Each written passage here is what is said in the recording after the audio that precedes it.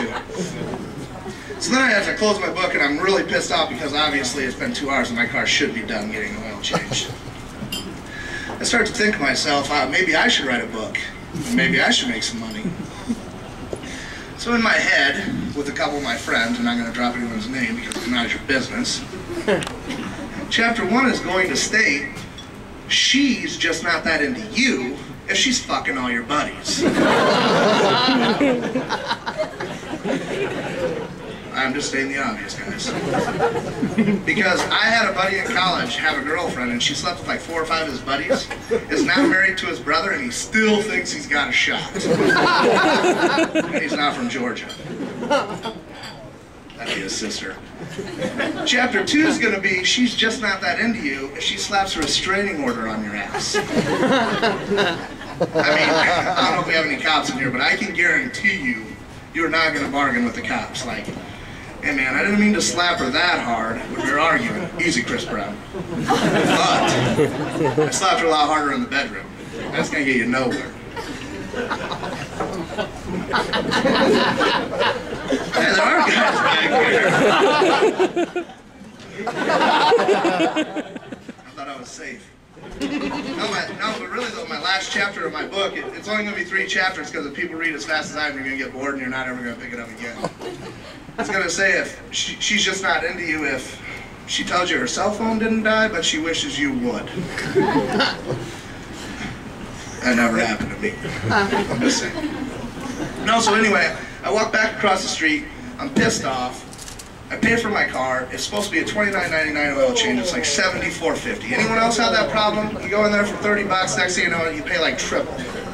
Right? 30 tripled is 75. Do the math.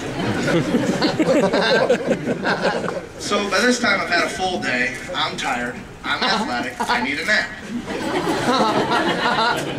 But I gotta get groceries first. So I go to Hy-Vee. I don't know about anyone else in here, but I like to go to places where I'm familiar with. And this fucking Hy-Vee at Ankeny is completely backwards to the Johnston Hy-Vee, and it really pisses me off. I am a right-hand shopper to the left side.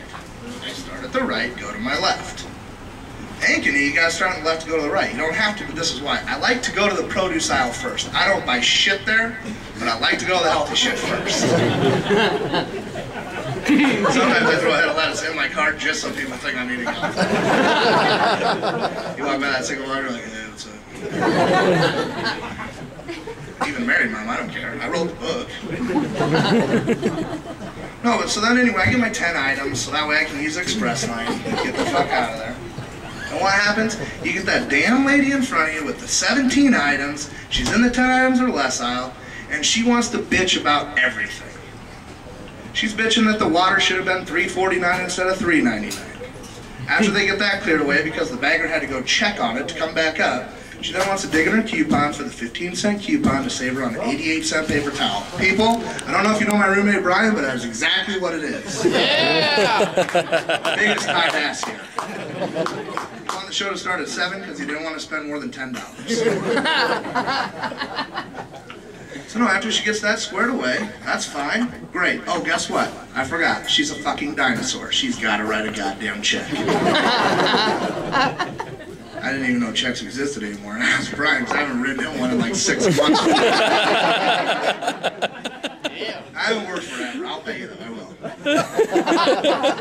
will. No, so really, I'm sitting there and I'm getting pissed off. And when I get pissed off, I got the sweating problem. A lot. I'm pissed. I'm pissed off. You always fucking piss me off. Yes. And so when I start sweating, I can't stop. So like, I got this sweat dripping on my nose, discoloration under my boobs or whatever. And if this lady even looks at me funny, I'm gonna take her in the parking lot and Chris Brown her ass. I swear to God. No, but really, that's kind of serious. Chris Brown, what do you guys think about that? Anyone know what I'm not talking about? You in the back? Okay. That's fine. Put your head down. No, but this guy, like, what, 20 years old, 19, 21, doesn't matter. He probably lied on the first certificate anyway. But, uh, you know, he gets in a heated argument in a car, wants to bite and scratch and, like, pull her out and hit her. I don't know, is it foreplay or? That's thought. So, okay, it's not foreplay. So then what does she do? She wants to press charges on her? I don't, I don't really get that, but, uh, you know, it's it's sort of like our country was supposed to be moving forward or whatever. You know, we've got a black president, Barack Obama. Yeah, he, black man beats a white woman. He doesn't get arrested. He's our president. it's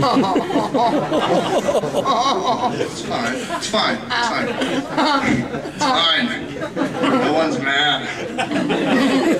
No, but really, seriously, I just read today. I read today on, on Yahoo that Barack Obama had to give his dog back. Yeah, he had a coonhound and it kept treeing his kids.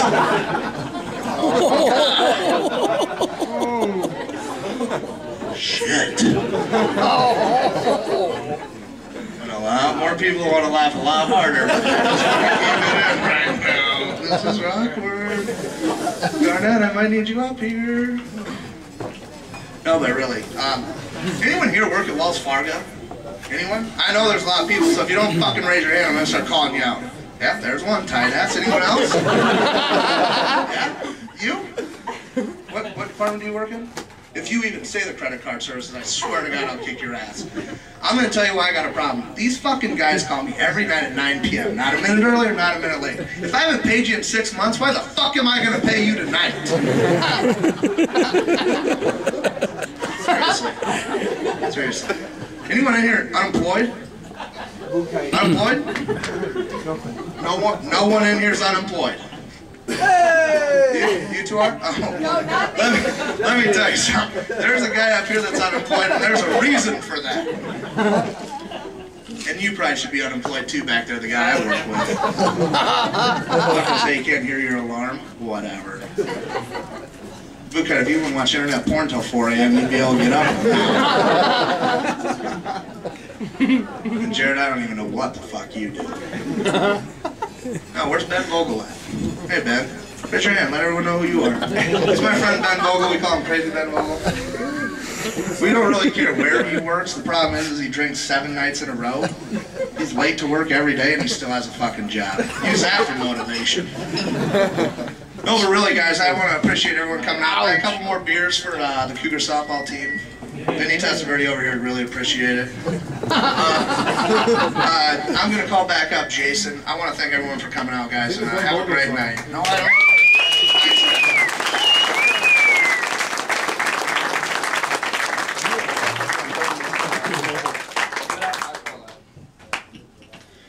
Josh Dobson, ladies and gentlemen. Very nice job. He is available for children's parties starting next week. Wow. Well, we've, we've touched on abortion and domestic abuse, and haha, that's hilarious, but racism's even funnier. Huh? Yeah, what'd you do last night? I have no idea. This reminds me of my segue.